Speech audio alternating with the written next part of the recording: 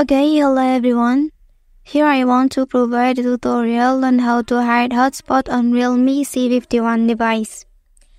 To avoid wasting internet data, do for user our hotspot connection and then you can hide your hotspot with the following steps.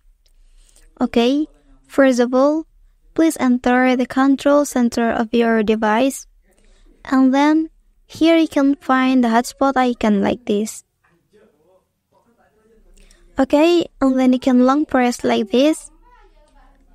Okay, then to hide the hotspot from other people devices, you can enable hide as SSID like this.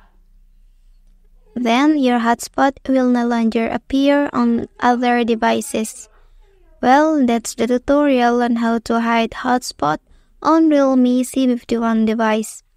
Don't forget to subscribe for more information from this channel. Thank you.